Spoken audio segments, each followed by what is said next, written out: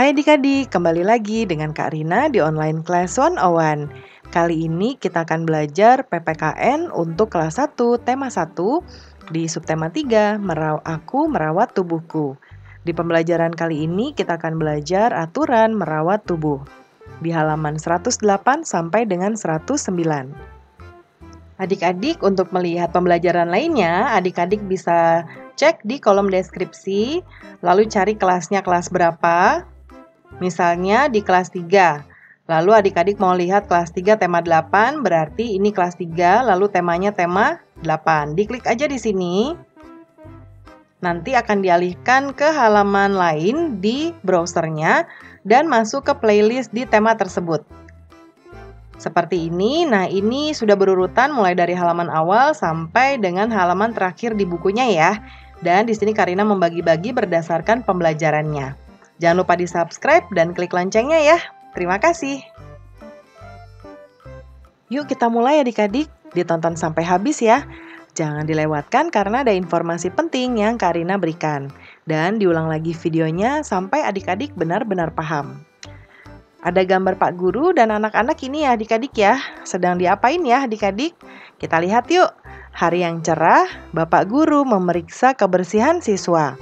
Mulai rambut hingga kuku. Rambut Udin bersih dan harum. Kuku Siti pendek dan rapi. Telinga Beni juga bersih. Semua menjaga kebersihan tubuh.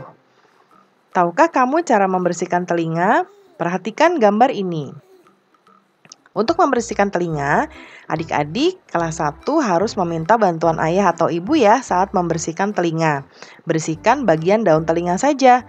Nah, kita lihat di sini adik-adik. Jadi caranya kalau e, bisa dengan dua cara. Yang pertama e, kapas seperti ini.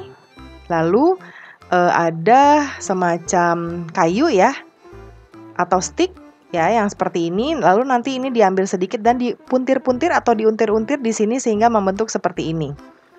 Kapasnya ya. Biasanya di zaman dulu kita pakai seperti ini, tapi sekarang sudah ada namanya cotton bud bentuknya seperti ini. Uh, ininya biasanya dari plastik ya. Lalu nanti ujungnya seperti ini adik-adik.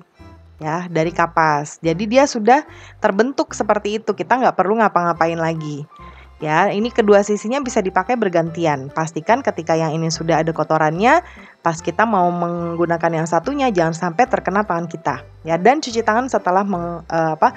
Setelah membersihkan telinga. Seperti ini nanti adik-adik. Ya, dibantu ayah atau ibu. Ya. Tubuh harus dirawat teratur. Buat jadwal merawat tubuh. Lakukan di rumah bersama ayah ibu. Nah, ini ada aturan merawat tubuh.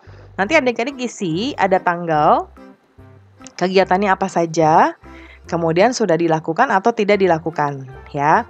Contohnya ada tanggal 1 Agustus yaitu kegiatannya mandi, menggosok gigi dan menggunting kuku. Semuanya dicentang. Mandi itu harus ya adik-adik ya, satu hari biasanya dua kali.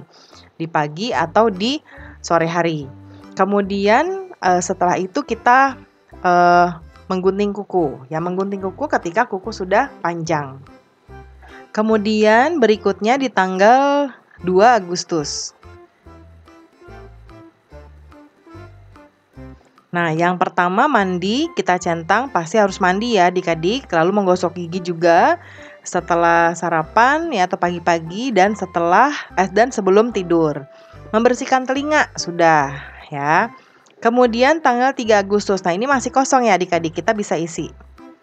3 Agustus.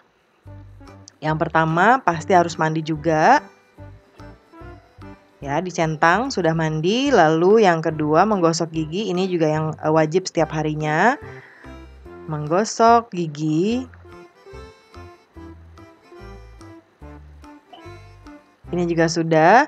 Kemudian yang ketiga misalnya apa nih adik-adik?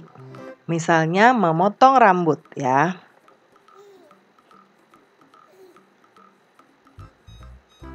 Nah, dicentang juga. Kalau ada tambahan lagi nanti adik-adik boleh tambahkan juga ya di nomor 4 dan seterusnya.